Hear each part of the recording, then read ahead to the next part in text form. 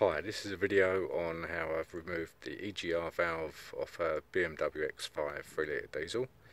So tools for the job, uh, I used a 5mm Allen key socket with an extension with the ratchet.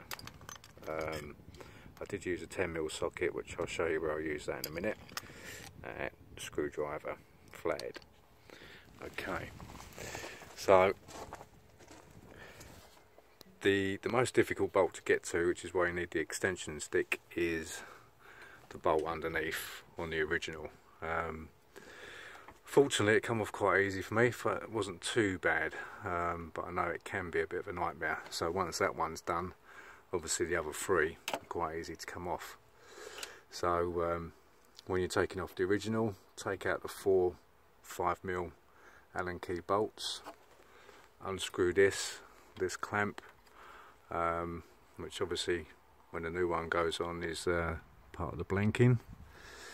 Um, actually fitting of the uh, the new one can be a bit difficult so what I done was loosened off a bolt there just to give you a little bit more bit more play, bit more flexibility. Um, the other little problem I counted was on the original car uh, on this pipe there was this so that's obviously a bigger diameter so it won't fit on the new new housing. So that was a little bit of a problem to get off. So there was this band securing that.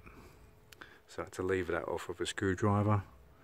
And then obviously you can put your new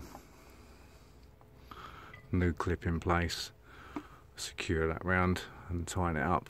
So um, all in all it took me about 20 minutes um, hasn't been too bad, fortunately, so uh, it's been quite good fun.